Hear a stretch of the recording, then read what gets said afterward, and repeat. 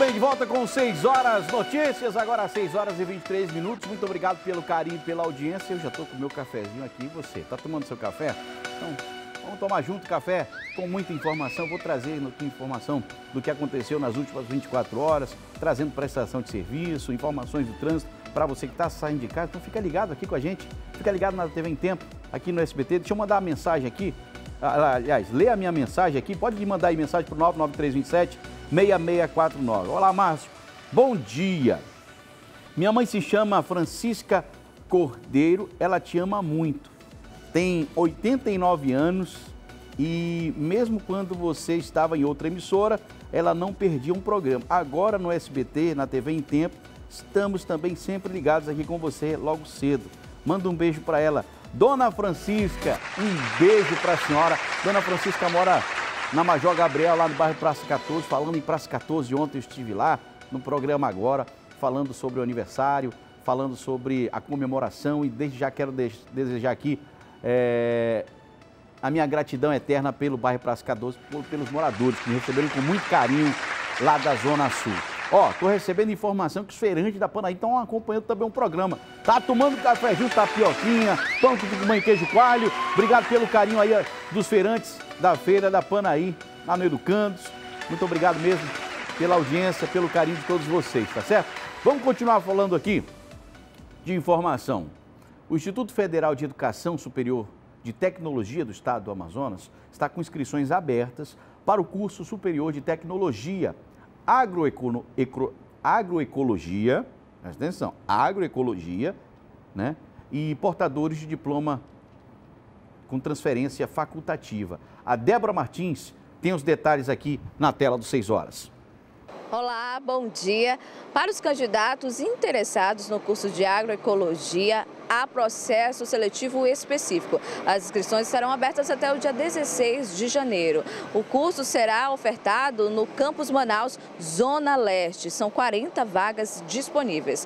Podem participar da seleção candidatos que sejam portadores do certificado de conclusão do ensino médio ou equivalente, além do edital do curso superior de tecnologia em agroecologia. Há também um outro processo seletivo que é para os portadores de diploma e transferência facultativa. Os interessados devem se inscrever até o dia 12 de janeiro. Os dois processos seletivos estão com inscrições abertas no site do IFAM. O endereço é ifam.edu.br. Volto com você. Obrigado, Débora. E você pode entrar no site para ter mais informações. E ainda falando em matrícula, inscrição, conforme o levantamento feito pela empresa de processamento de dados do Amazonas, a Prodan, no primeiro dia do processo de transferências, das unidades de ensino das redes públicas de Manaus e também do Estado, o sistema de matrícula online registrou um percentual de 82%. Olha só, de 82% de solicitações de matrícula via o site matrículas.am.gov.br. Esse resultado representa um aumento em relação aos números do ano de 2019 então, olha só que bacana. Né? E isso foi registrado né, nesse período de até 4 horas da tarde, no primeiro dia de transferências, ou seja, 65% das reservas de vaga havia sido, haviam sido solicitadas pela internet.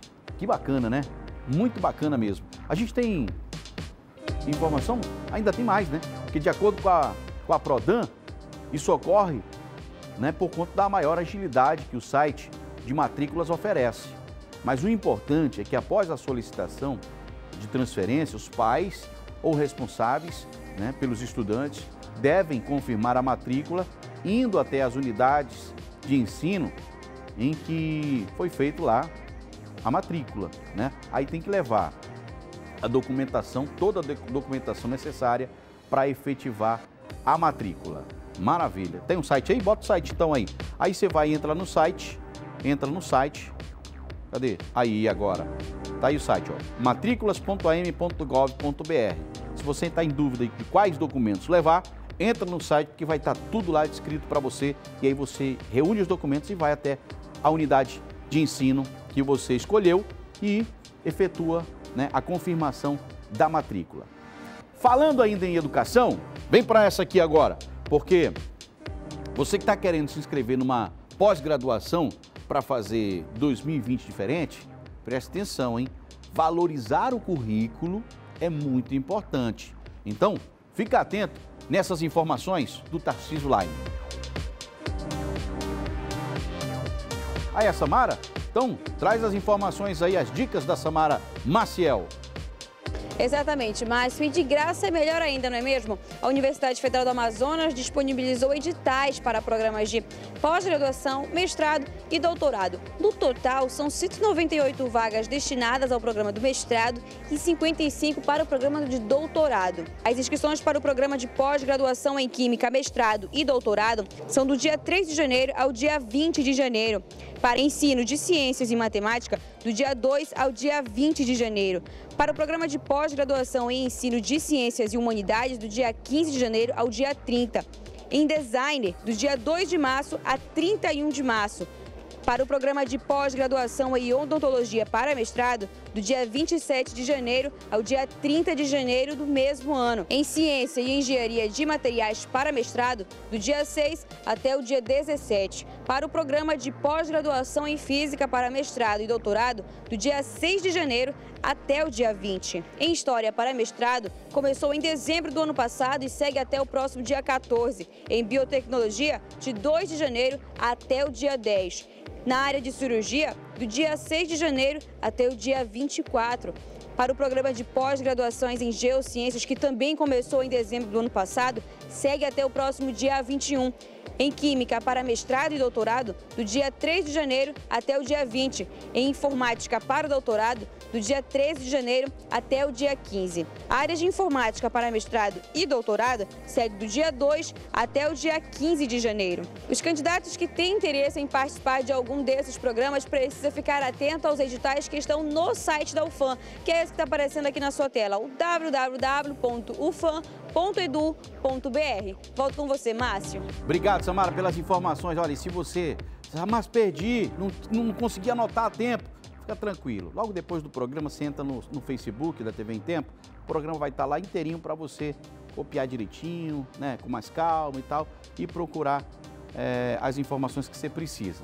Falando ainda em bolsas, né, a Defensoria Pública do Estado está com inscrições abertas para o primeiro processo seletivo que oferece vagas a residentes jurídicos para atuar no interior do estado. Olha só que bacana. E a Samara também vai trazer essas informações para a gente na tela dos 6 horas.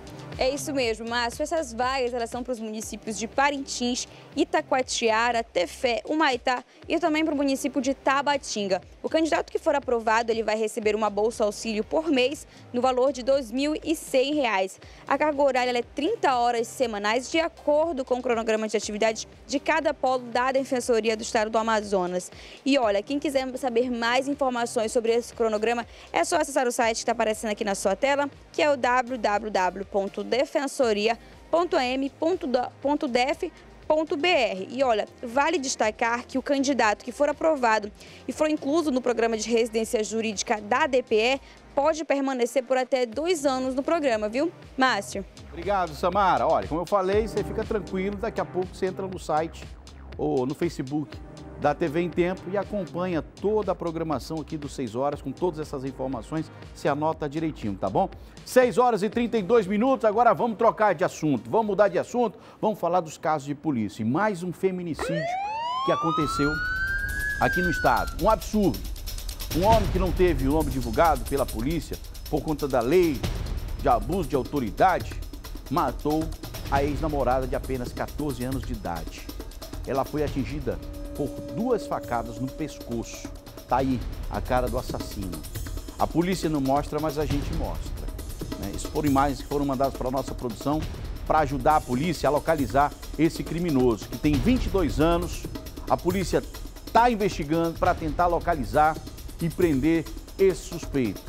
Os detalhes se acompanham agora de como tudo aconteceu com o Marcelo Bezerra na tela dos 6 horas. A vítima foi identificada como Maiane Batista Brasil, de 14 anos. Segundo relatos de moradores que não quiseram gravar a entrevista, ela foi assassinada dentro da residência, na Rua 5, no bairro Morada do Sol, do suposto assassino, que foi o seu namorado, identificado como Jefferson. O pai dele disse aos policiais que eles estavam dentro da casa normalmente namorando. Só que Jefferson descobriu que Maiane queria terminar o relacionamento e ele não aceitava. Segundo a polícia, Jefferson desferiu com duas facadas, uma no pescoço e outra no peito. Maiane não resistiu aos ferimentos e morreu dentro da residência. Vocês, como é que vocês souberam da morte dela? Nós soubemos porque ela ligou, ligaram do celular dela pro meu pai, pedindo socorro ainda. Aí, aí, aí na hora que falaram bem assim que que era que era pra mãe desligar, porque ele já vinha, ele já vinha, já vinha parece que pra querer não sei, fazer alguma coisa com ela. Aí na hora que desligou o telefone, ele não falou mais nada, nós tentamos, tentamos ligar várias vezes, aí.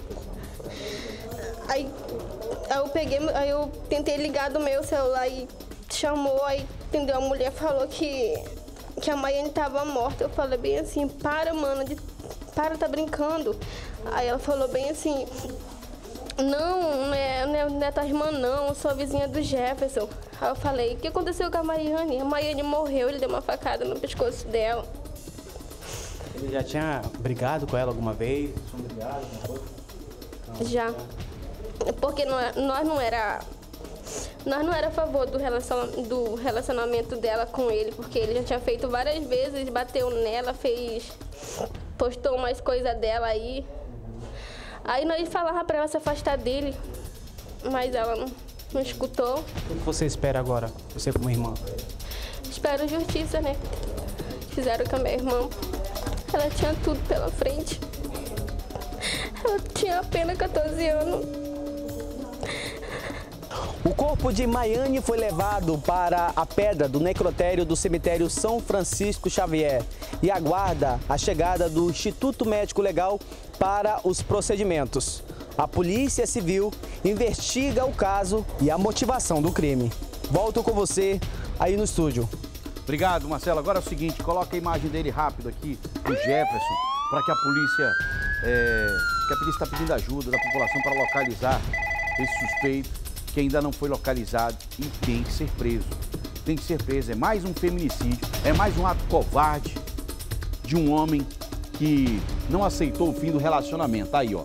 Pode frisar aí, Gisele, e enche a tela, que eu vou pedir agora o apoio da grande audiência do programa lá no município. Se você tiver informação sobre o paradeiro desse homem aí, do Jefferson, ligue para a polícia, meu amigo, minha amiga. 181 190. Fique tranquilo, passe a localização e você não precisa se identificar. Sua identidade vai ser mantida no mais absoluto sigilo. 6 horas e 36 minutos, a gente segue falando dos casos de polícia. Agora me traz aqui a Bárbara, que ela está acompanhando os casos que estão acontecendo e tem detalhes de tudo que está acontecendo na cidade de Manaus. Quais são as informações, Bárbara?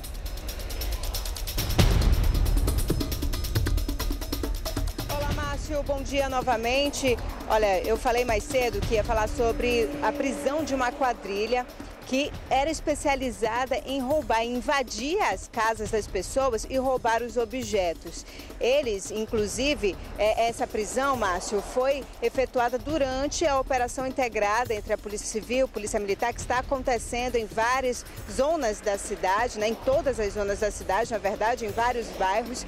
E durante essa operação, a Força Tática recebeu aí uma denúncia de que uma casa havia sido roubada. E durante é, a procura né, por, por esses criminosos, a polícia conseguiu encontrar dentro de um veículo três homens e também alguns objetos da casa que haviam sido roubadas.